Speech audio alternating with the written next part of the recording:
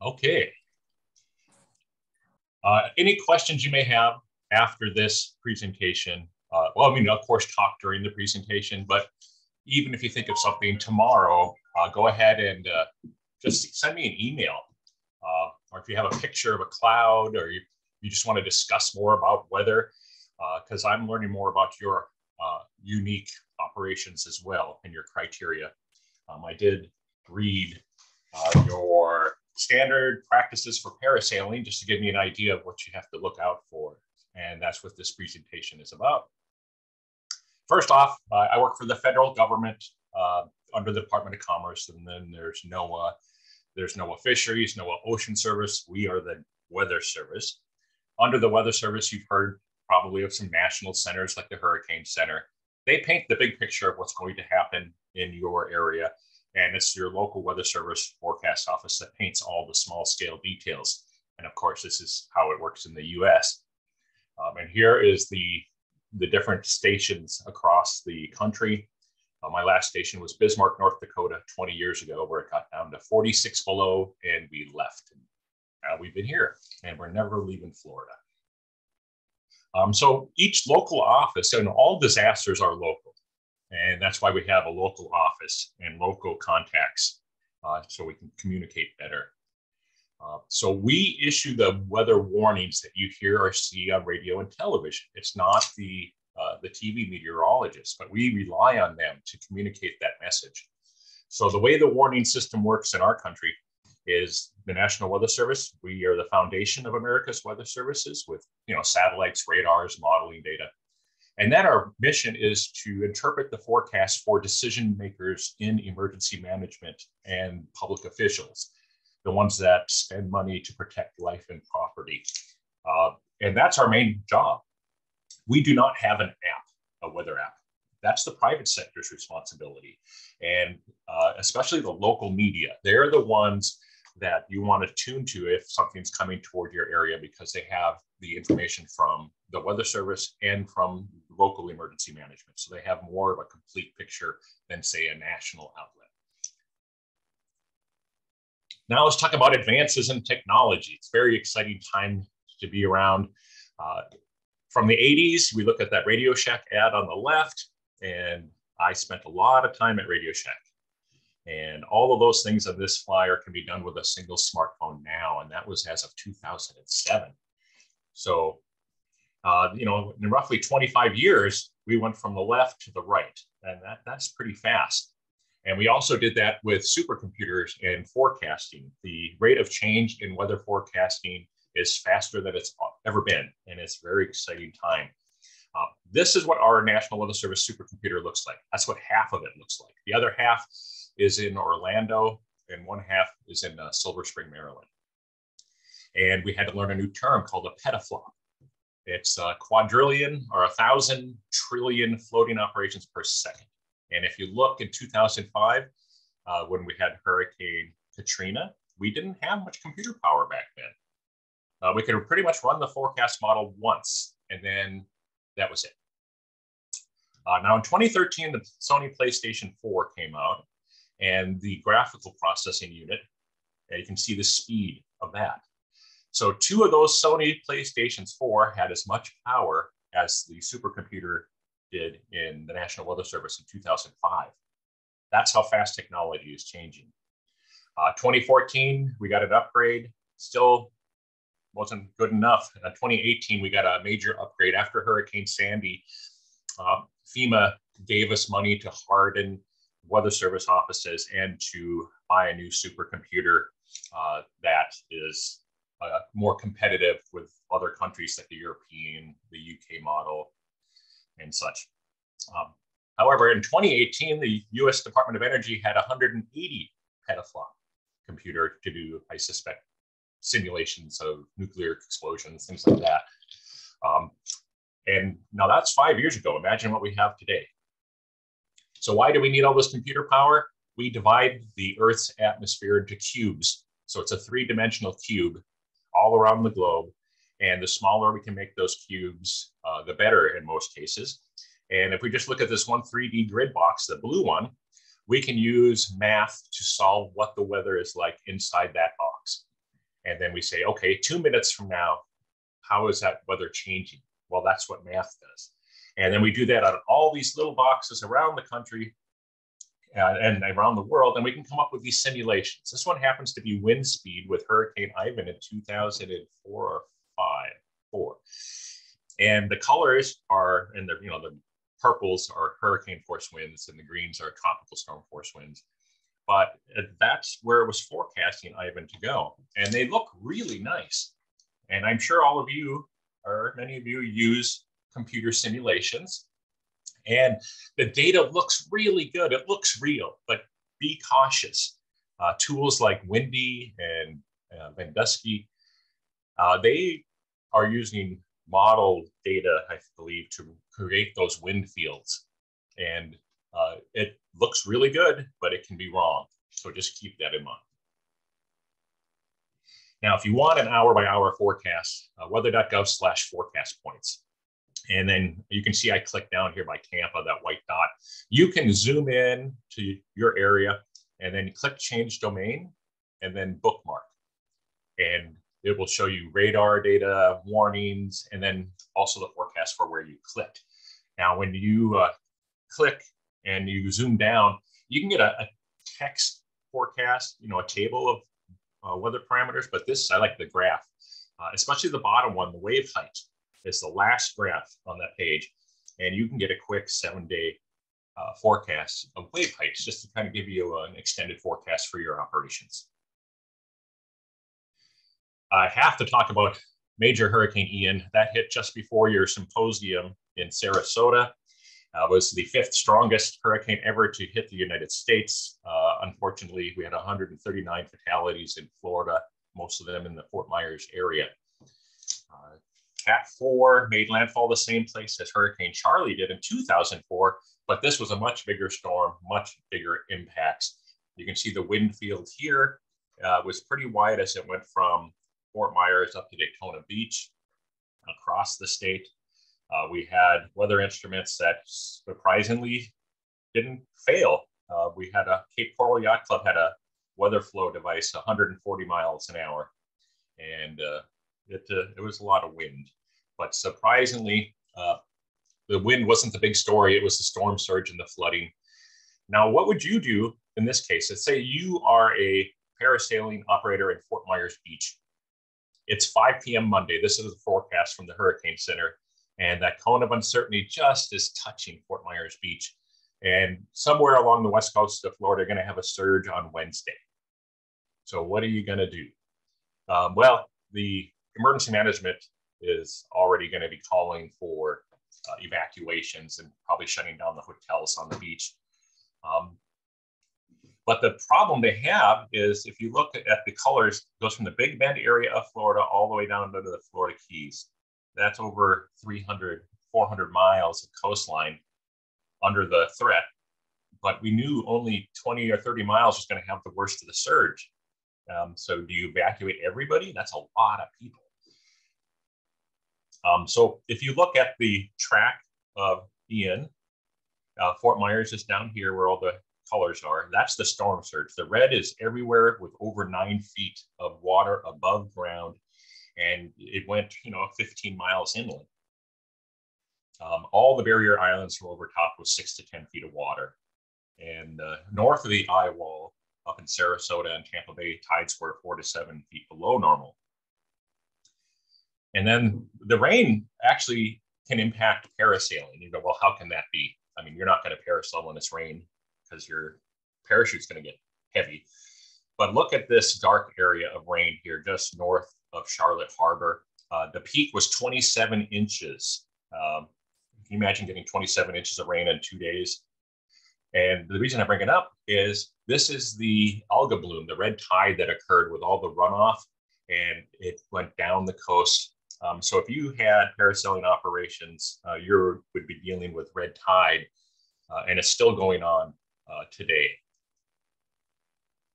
So here are the impacts. You got homes and businesses are washed off their foundations, roads destroyed, water up to the you know rooftops, uh, and then you had river flooding, uh, isolating uh, towns like Arcadia. Um, these are the impacts. Now, are you prepared for your business if a major storm comes? And we're just going to briefly talk about this. Uh, ready.gov has a great place to build uh, a business plan and a kit and to help keep your employees safe as well so they're more likely to come back after an event. All right, with that, um, you're on the water, you're going to start off for the day. There to be storms later in the day. You need to be able to get uh, weather warnings and messages. Uh, we don't have an app, but there's a lot of wonderful commercial apps from local media and also just other wonderful weather apps out there. Uh, the FEMA app is a great app, especially if you have damage to your business. Uh, you can click on disaster resources and it'll tell you which forms to fill out and where to bring them. Um, and then, of course, uh, weather radio is a nice low tech way to get weather information uh, and is great to have on board. The only unfortunate thing with weather radios is our marine zones are pretty big. So if we did one for 20 miles away from your business, it still might turn on your radio and you would have to listen to see where exactly that storm is. So again, these warn of not only of natural but also man-made hazards. So if there is a civil emergency message from emergency management, they want you to evacuate for some reason, these go off for those as well. Now, hopefully all of you look at radar apps. That's a great tool for your industry. And there's many different versions out there. Some are cleaned up and look pretty, but if uh, if you can, I suggest get the ones that look dirty because they have the all the data in there. Um, before we look at some radar data, let's look at thunderstorms. And look, you know, there's going to be two parts. You're going to have a flat cloud base, that's the updraft. And that's where the air is being vacuumed up into the storm tower, generating rain, and then that falls on the other side of the storm, and that's your downdraft. So first, you want to do is any storm, you know, look at the updrafts and downdrafts. So this is a little fella um, and just a single storm. Um, now the downdraft characteristics, anytime you see rain fall into the ground, that's a downdraft. And a rain foot is where the rain starts to push horizontally along the ground because the wind is strong. And that is an indication of a strong wind in that area. And then, of course, you've got the updraft. So, in a helpful analogy would be that when the storm is inhaling, you'll get the updraft rain-free base, inflow, wall cloud, funnel cloud, tornadoes, and waterspouts. Everything else is in the downdraft when it's exhaling. That's when you get the you get damaging downburst winds, the rain, um, the cold outflow that could race ahead of the storm, and of course shelf and roll clouds, which we'll look at. So let's look at this uh, shelf cloud, and the cold air is moving from left to right on this gust front, and the warm air is lighter than cold air, not as many atoms, and so it gets kind of pushed up or shoveled up the cold air, and then that's what creates this weird looking cloud. Now, as that air, well, this is what it looked like. Um, and it looked like a tornado. It was reported as a tornado, but it wasn't spinning, and we had no rotation on radar. This is another view of that same storm or same line of clouds. This is a roll cloud. The cold air is on one side, warm air is on the other, and the warm air is being forced up and over, and it's causing that cloud to form. And what happened is the cold air from the thunderstorm is moving faster than the thunderstorm itself. So the cloud detached itself. And it's these kind of boundaries that you want to be on the lookout for because they can race out ahead of the storms. Uh, you might say, hey, that storm's 40 miles out, but well, this boundary is only 10 miles out and it's headed toward you. And that can cause rapid changes in wind direction and speed. So here is a satellite, I'm sorry, a radar, and you can see this arcing blue cloud headed toward the coast out ahead of this line of storms. And that is a gust front. Uh, and it produced 40 mile an hour winds or 34 knot winds on Indian Rocks Beach. And it can catch a parasailing operator uh, off guard because the storms, they were out further than that you know, they're out 30 miles and you're thinking, okay, we can do another run. Makes sense to me. And then Now, when it's 13 miles offshore, the winds at Indian Rocks Beach are already 40 miles an hour. And so it's those boundaries you want to keep an eye on or have somebody keep an eye on. And the wind is going to change before that boundary arrives at your location, uh, just before. So why, you know, what causes weather? What is going on? And really it's temperature combined with moisture differences. Uh, cold air is heavier because it has more molecules than warm air.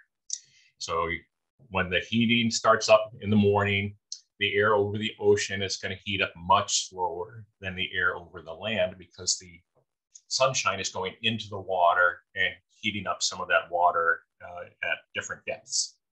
Whereas the land, the sun can't go through dirt. So it heats up and the radiation increases, creates long wave radiation and heat. And what that does is it ends up with a sea breeze circulation.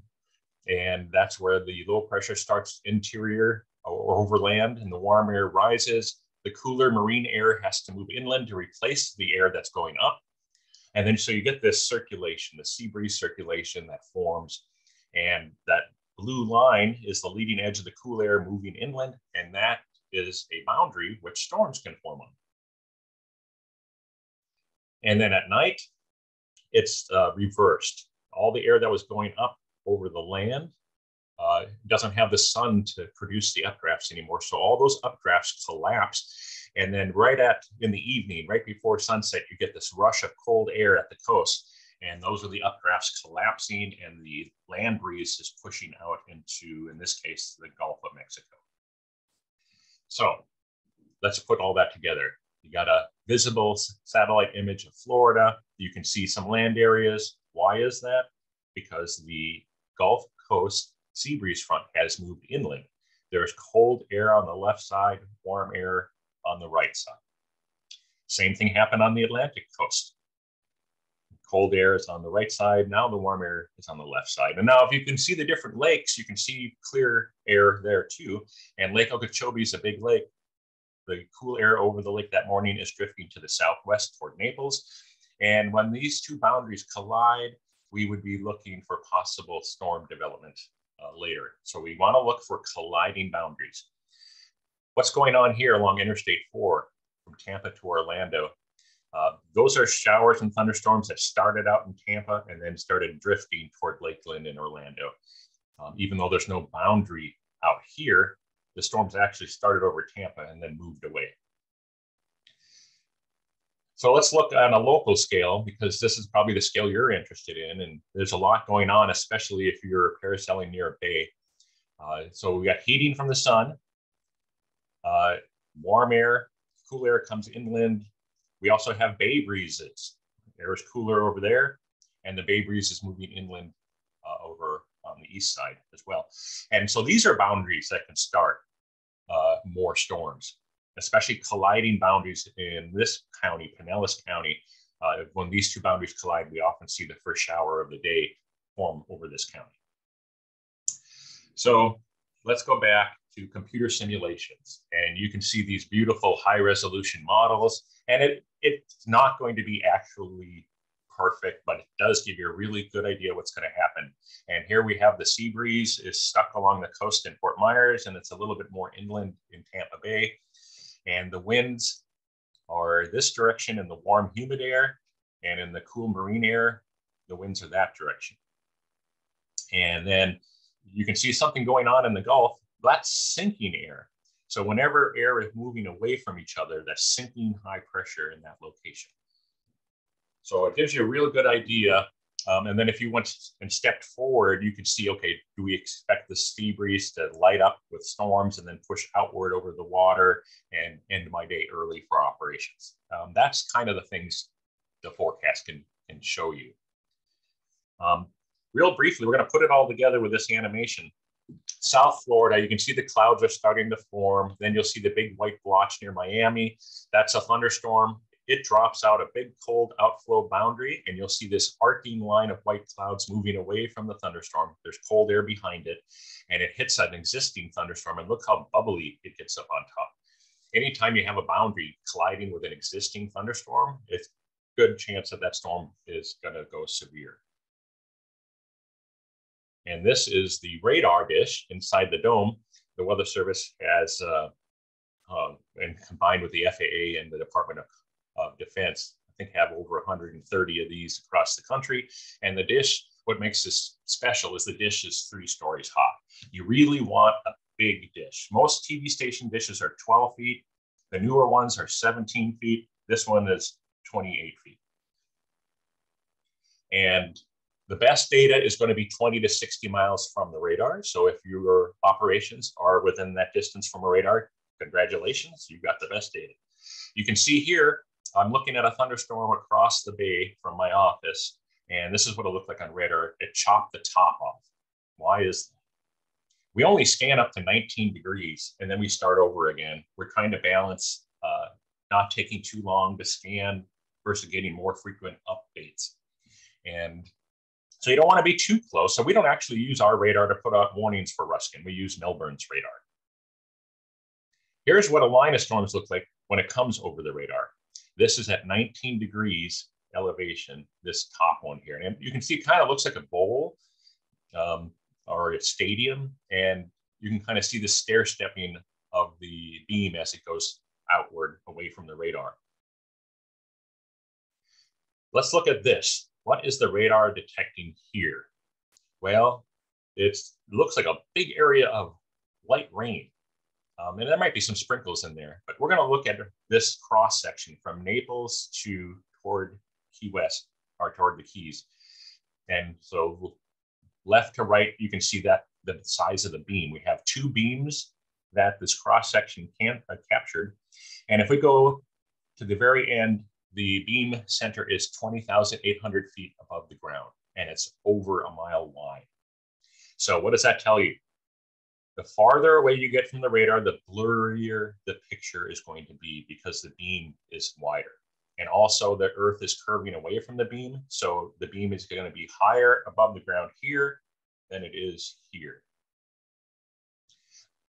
Um, so there are some cases where your sea breeze is going to be pinned near the coast just due to prevailing winds are too strong and the sea breeze will just sit there and it'll wait in Florida's case for the Atlantic coast sea breeze to come by and hit it. And then you'll see uh, what we call uh, as the storm zipper up from south to north in this case.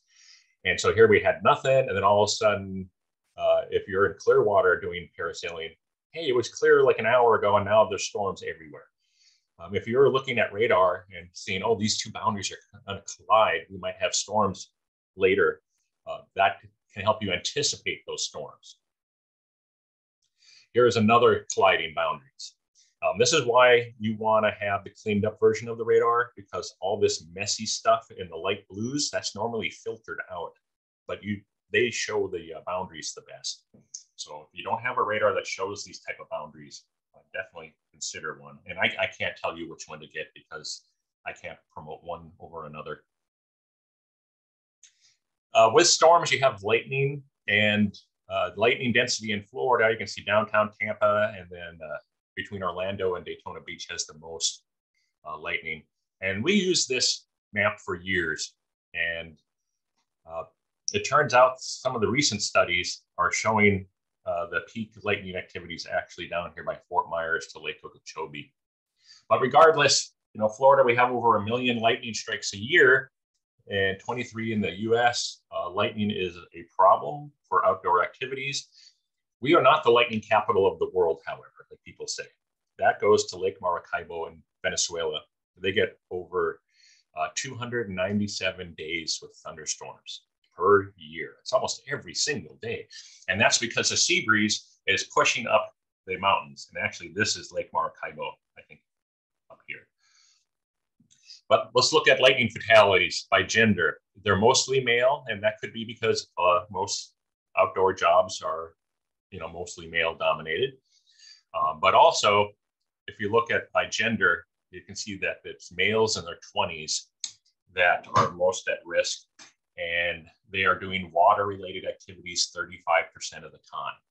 So that's one in three fatalities are water related.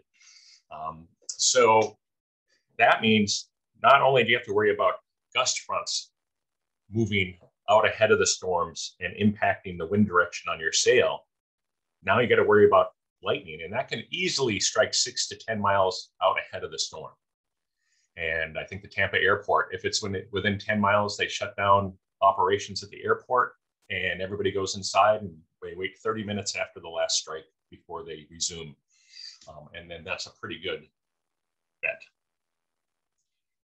Um, you can see this lightning strike at a football game, and it just uh, captured it at the right time. Notice the lightning did not hit the uh, towel, the tall pole. It hit the tree, which is lower than the pole.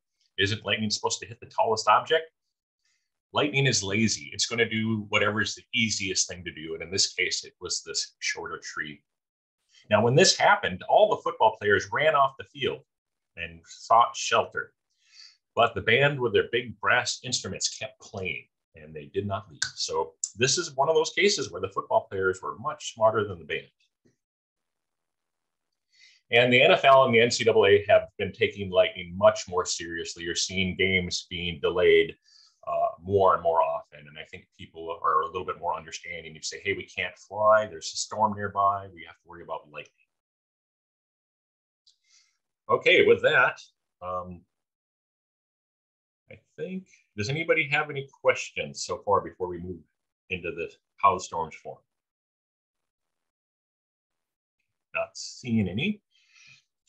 So when you go outside, uh, then next time you see a storm developing, it's going to happen in three stages. And you'll first see the tower start to build upward. That's the towering cumulus stage. Cumulus is Latin for pile.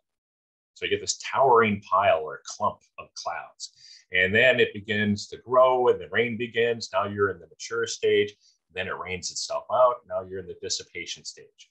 That takes about 30 to 40 minutes. We know storms last longer than 30 to 40 minutes. What's going on? Well, that's where you have multiple storms glued together, each one at a different uh, stage of the thunderstorm life cycle.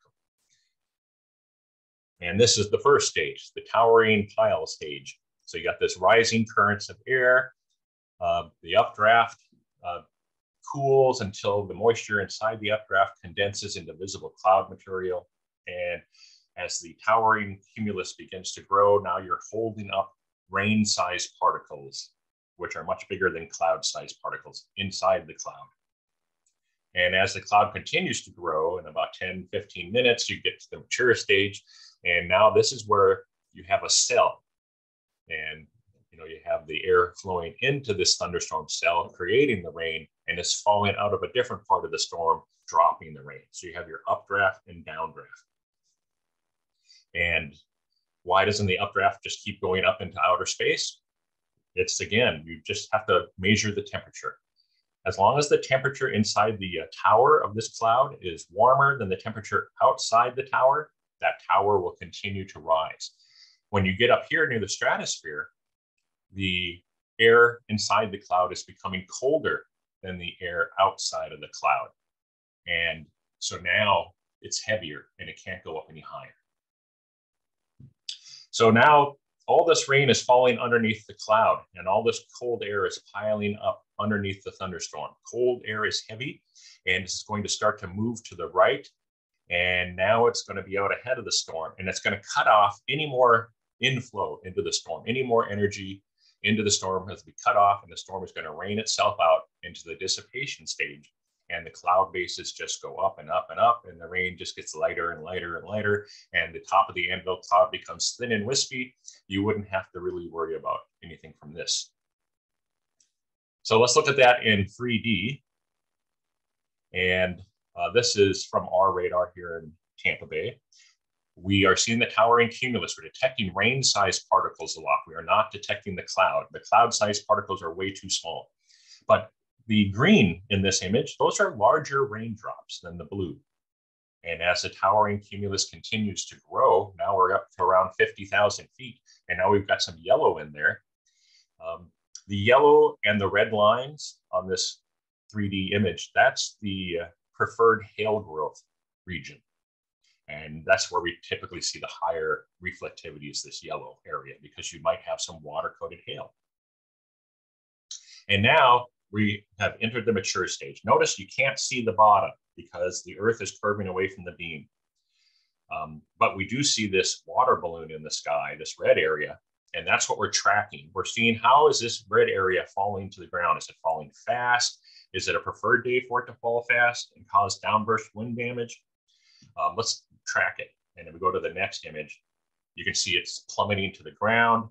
And now we're entering the dissipation stage and it's just starting to rain itself out and it goes away.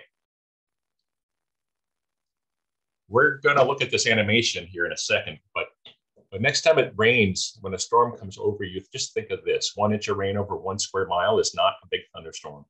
It's 17 million gallons of water, 145 million pounds being held up by the updraft. And if the updraft stops quickly for some reason, all that weight of water comes crashing to the ground and can cause damage. So here is a rain draft. I'm sorry, a downdraft and rain shaft. And okay, not so bad here. Wherever there's rain, there's a downdraft. Here we don't see any rain. Uh, this might be an updraft here. Um, and look at the edge. Do you see the rain being blown horizontally away from the main downdraft? If you do, there could be some stronger winds there, and you might want to get in a little early. Here's another one, non-severe, uh, because winds are only 35 miles an hour. But if that was you parasailing in that area, uh, that could cause a problem. And, and, of course, these storms are the ones that are right on top of you. You wouldn't be out there anyway. Um, these are microbursts, they're small scale downbursts. It actually looks like a water balloon falling out of the sky. It hits the ground, it compresses, and that's what causes the rain foot to develop as that rain is horizontally blown away from the downdraft. So those are visual clues to look for to see if, hey, is that storm a little stronger than other ones? And on this video, you can kind of see that microburst and the clouds that it forms. So that cold air, you know, there's no rain in it, but the, the air is cold and you can see it lift up the air ahead of it and it's forming those little low-lying clouds under the thunderstorm base. So that is an indication to you that there are some strong winds out over the water. What mostly you're going to see are shelf clouds, and uh, even from a distance, especially if you're on the water, you can see them for you know over 10 miles away. This storm is moving left to right across the slide. You're standing where the W is, the warm, humid air, and all the wind is at your back blowing into the storm. And the cold air in purple is lifting up this warm, humid air, causing this shelf cloud to develop at a lower level than the thunderstorm base.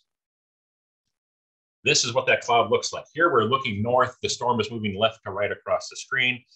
This low hanging cloud is the shelf cloud. This cloud base above it is the thunderstorm base. This shelf cloud is forming because the cold air behind it is lifting up the warm air ahead of it. And just before this cloud comes overhead, your wind direction will change 180 degrees. Your temperature might drop 15, 20 degrees, and winds could increase to over 40 miles an hour. This is a little shelf cloud over Lake Okeechobee coming toward the observer. Again, the cold air and rain is behind it as it approaches you. Here's a funny looking one uh, over land. Anytime you see a funny looking long cloud with rain behind it and it's approaching you, it's some kind of a shelf cloud with a downdraft behind it. And here's a big one headed offshore. Uh, this one you could see on radar way ahead of time. You know, would have given you a heads up that this boundary was moving offshore. This is what it looked like physically. We got a lot of tornado reports. Uh, we had a few trees down. They said it was tornado damage when in fact it was actually a downburst wind. And it was because of these low hanging scud clouds. People see a low hanging cloud, the tree fell down, it had to be a tornado. When in fact, downburst winds cover much larger areas and can be more impactful to parasailing than tornadoes because your chance of getting hit by a tornado are really small. Uh, chance of being impacted by a downburst wind is going to happen. It's just going to happen. Um, when the storms start firing and you're just looking, uh, look for the strongest storm. And you can tell that by looking at the updraft tower. If it has a hard, crisp outline to the clouds with a cauliflower appearance, that's a strong updraft, as opposed to the one on the right, That's kind of soft and mushy, silver lining. That's a weaker updraft. Um, so the one on the left, you'd be concerned about, oh yeah, strong updraft, probably going to be some lightning and stronger downdrafts in that one on the left, as opposed to the one on the right. Now, if you want to know more about weather, this is just a brief basic summary. We have two free online trainings. One is the Spotter Network. It's a nonprofit group, including Weather Service, Storm Chasers, media, academia. Um, and it works with smart device apps. METED is meteorological education. There are over 800 weather trainings and a lot of marine trainings, and they're all free. And they're developed by all the different universities across the country. You have to make an account in each, but both are free. Um, let's see where I go next here. Here's something else you can do to help uh, keep your employees prepared before uh, big events or even smaller events. Uh, we're looking for people to become ambassadors. And what you do is you go to weather.gov slash WRN for Weather Ready Nation. And you get an email about once a month with some resources to help you prepare your employees for hazardous weather. And one thing might be a simple, here's a simple two page family emergency plan if a hurricane approaches. If you encourage your employees to fill that out and keep a copy off site somewhere, like the family in Minnesota, uh, that's more than most people have and that's awesome. And that's the, the whole gist of this. And some example of these ambassador resources. Here's a um, boating safety tips and resources. Um, you can get infographics. You can put on your employee bulletin boards. If you have a website presence, you can do the, you know, wear your life vest things. Uh, uh, marine portals for quick access to weather data. Uh, there are some really good weather portals, marine portals in there. Check those out. And with that, I, that that's it for me. Does anybody uh, have any questions? James, I'll let you cover that. Yeah, thank you, Dan. So, uh, like you said, if anybody has any questions, feel free to unmute yourself and uh, holler them out.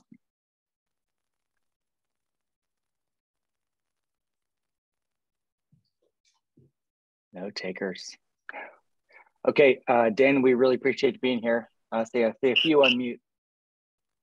Absolutely, and I, am I apologize that those hurricanes got in the way before. Uh, but if you have an interesting weather case uh, when you're doing your operations and you want me to investigate it a little further, I can do that and present it next year if I'm invited back to the symposium. So I'm trying to make it more relevant examples for everyone. I have, I have, I have one question. Yes. The uh, so when you're talking about a shelf cloud, how, when you visually see it, approximately how many miles or how, how long is the distance or time wise before you're going to get hit with that kind of wind? So this is where you need a radar app because all storms move at different speeds and their gust fronts move at different speeds and they form at different heights. So the higher it forms, the farther away you can see it. If it forms very low to the ground after six miles, you're probably not going to see it over the water. Um, so I would not try to do it visually. I would use a radar app, track that boundary, and get a feel for when that boundary is going to impact your operations. Gotcha.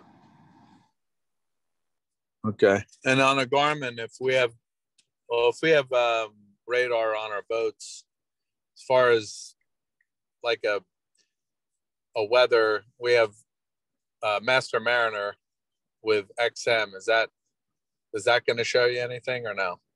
Let's see. I have XM radar in my vehicle, and it's not very good. Right. Uh, you you really want the updated high resolution stuff that you can get with your cell phone. Um, and since you're close enough to the shore, you should be able to get cell phone coverage. I, I would go with that more than some of the other ones. But I, will be honest, I have not seen the XM radar stuff on for the marine. Right. Okay. That's it. That's what I had for you. Excellent. Hey, Dan, can you hear me? Yes. Yep. Hey, Sean Bond of Myrtle Beach. Um, currently, we're using RadarScope as our best tool. Is that still recommended that uh, we stick with that? Well, we can't recommend anything since we're government, but I know a lot of meteorologists who use that app in particular. And then if you want other things like wind information, um, other ones are if you just search for radar, you'll see things like Omega, and but those are pricier. Um, they're like 120 bucks a year, where radar scope is free after you buy it for 10 bucks. So it depends what you need. All right, thank you. But we're safe still use. I mean, you're familiar with that one, and that's still. Uh... Oh, that one is good. It'll show you every product we have, and um, if you ever have a question on how to interpret something, you know, uh, I can point you to an online training class, or you can just get a hold of me and we'll talk about. It. And then one more on that, you were saying uh, that 20 to 60 mile range. So we're in between Wilmington and Charleston. Um, I'm not sure exactly where those those uh, radars are, but we're out we're around that 60 miles, so that's still pretty good in terms of what you're saying. Absolutely. I mean, some of the bigger outflow boundaries we can see in Fort Myers, just not that often because our beam is about 8,000 feet above the ground, and those boundaries don't typically, unless it's producing a thunderstorm, they don't show up. Um, so you really you want to be, unfortunately, 20 to 60 miles away from the radar for that. All right, sounds good. Thank you. Hey Dan, just to follow up, I think on something Joel was saying there. Um, is your is there a a distance that wind can be in front of a a shelf cloud that is like a common distance away? So like if someone sees one that what they would expect the wind to arrive. So if you can see a shelf cloud, it's probably coming toward you, and you should probably get off the water. Yeah, um, that's in general. But otherwise, I would use the radar app to see where it's really going. Okay, but more is the case if they are trying to get down, but obviously, yeah, yeah it's I mean, if nothing else, the wind is going to increase and change direct direction uh, in a you know over a minute. It's going to happen quickly. Okay.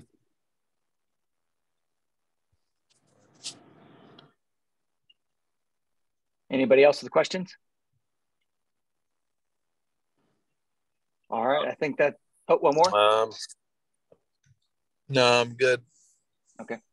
Lee Lee kind of okay. redirected the question again. Uh, not much. So yeah. Chilling. How you been? Okay. James James has a PDF of this presentation. I believe he'll be sending out. Um, I will. We'll have that and a uh, recording of this will be provided oh, um, yes. after the fact. So, um, so yeah, yeah. So for any for anybody who's on, um, uh, yeah, you can spread the word if you like that soon we'll be posting a recording of this for others to watch. I, Dan, I think it was extremely informative and we appreciate you doing this for us. Absolutely. Um, we're catching up from all the talks we had to cancel from the hurricanes. So uh, you're my last one. So now I'm caught up. Good. Good. Okay. Thanks, everybody. Appreciate Take your care, time. everybody.